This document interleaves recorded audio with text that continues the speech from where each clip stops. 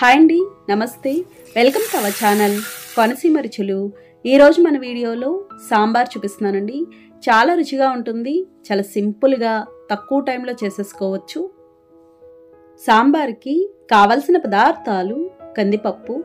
కందిపప్పు చిన్న గ్లాస్తో ఒక గ్లాస్ తీసుకున్నానండి. ఇది ఎనభై గ్రాముల కందిపప్పు. ఇప్పుడు ఇది బాగా కడుక్కోవాలి. ఇలా బాగా కడుక్కున్నాక తగినన్ని నీళ్ళు పోసి కొద్దిగా పసుపు వేసి కలిపి కుక్కర్ మూత పెట్టేసి హై ఫ్లేమ్లో నాలుగైదు విజిల్స్ రానివ్వాలి. పప్పు బాగా మెత్తగా ఉడకాలి. మెత్తగా ఉడికితే సాంబార్ చెక్కగా ఉండి బాగుంటుంది. చూడండి ఇది ఇలా బాగా ఉడికింది కదా? ఇప్పుడు ఇది కలుపుకోవాలి. ఈ విధంగా మెత్తగా ఉండాలండి. ఎక్కడ పలుకు లేకుండా. ఇలా పప్పు ఉడికిన తర్వాత కూరగాయ ముక్కలు వేసుకోవాలి. ఆనపకాయ ముక్కలు ఉల్లిపాయ ముక్కలు మీడియం సైజు ఉల్లిపాయలు రెండు క్యారెట్ ముక్కలు క్యారెట్ ఒకటి తీసుకున్నానండి. బెండకాయ ముక్కలు బెండకాయలు మూడు టమాటో ముక్కలు మీడియం సైజ్ టమాటోలు రెండు వంకాయ ముక్కలు ఒక వంకాయ. అలాగే మీకు ములక్కాడు ఉంటే గనక ములక్కాడు ముక్కలు కూడా వేసుకుంటే బాగుంటుంది. నాకు దొరకలేదండి ఆ రోజు అందుకే వేయలేదు.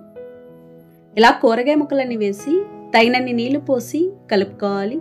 పచ్చిమిర్చి ముక్కలు పచ్చిమిర్చి రెండు కాయలు చూసి వేసుకోవాలండి. మళ్ళీ మనం కారం వేస్తాము సాంబార్ పొడి వేస్తాం కాబట్టి ఘాట్ ఎక్కువ అవుతుంది ఇలా కలిపి కుక్కర్ మూత పెట్టేసి హై ఫ్లేమ్లో ఒక విజిల్ రానివ్వాలి.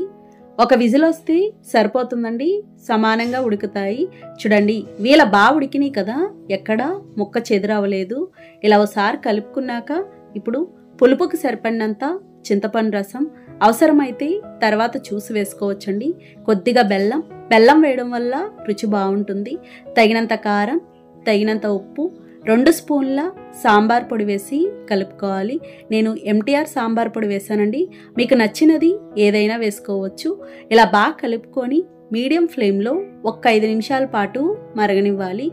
ఐదు నిమిషాలు మరిగిన తర్వాత పోపు పెట్టుకోవచ్చు. సాంబార్ కొంచెం చిక్కగా ఉంటేనే బాగుంటుందండి. ఒకవేళ బాగా చిక్కగా ఉంది అనుకుంటే ఇంకొంచెం నీళ్ళు పోసుకోవచ్చు. అలాగే పులుపు తగ్గినా ఇంకొంచెం చింతపండు రసం వేసుకోవచ్చు. ఇది ఇలా బాగా మరిగింది కదా ఇప్పుడు పోపు పెట్టుకుందాం. పోపు కోసం పాన్ పెట్టి నూనె వేసుకోవాలి. నూనె వేడయ్యాక కచ్చాబచ్చాగా దంచిన పది వెల్లుల్లి రేఖలు వేసి ఫ్రై చేసుకోవాలి. వెల్లుల్లి కొద్దిగా వేగాక అర స్పూన్ ఆవాలు అర స్పూన్ జీలకర్ర ఎండుమిర్చి ముక్కలు ఎండుమిర్చి మూడు కాయలు కొద్దిగా కరివేపాకు కొంచెం ఇంగు వేసి ఫ్రై చేసుకోవాలి. ఇంగు వేయడం వల్ల సువాసన బాగుంటుంది. అలాగే ఈ పోపుకి మినపప్పు శనగపప్పు అవి ఏమీ అవసరం ఉండదండి.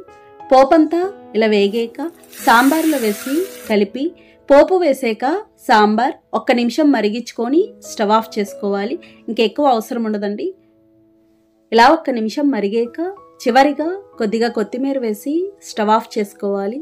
ఇంతేనండి సాంబార్ తయారైంది. ఇలా చిక్కగా ఉంటే బాగుంటుంది. ఇది అన్నం టిఫిన్స్లోకి చాలా బాగుంటుంది. నచ్చిందండి వీడియో మీకు నచ్చితే లైక్ చేయండి షేర్ చేయండి కామెంట్ చేయండి. Thank you for watching.